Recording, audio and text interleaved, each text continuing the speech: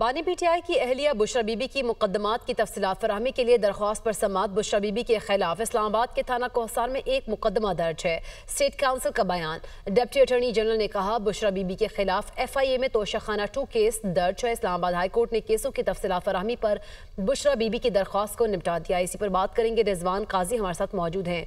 रिजवान काजी समात का हवाल बताइएगा।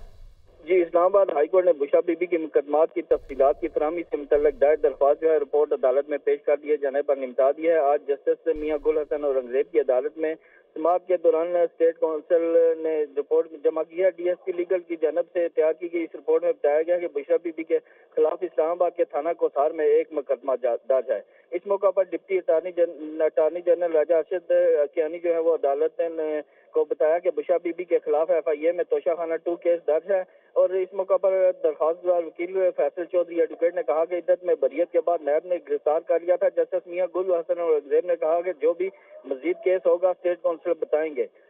इस मौका पर स्टेट काउंसिल ने कहा कि एक ही केस थाना कोसार में पहले एक दर्ज है, जो यहाँ बेंच पाँच में चैलेंज है। अदालत ने केसों की तफसीत फ्रामी से तफसीत अदालत में बता दिए जाने पर अदालत ने जो दरखास्त है, वो निपटा दी है। जी।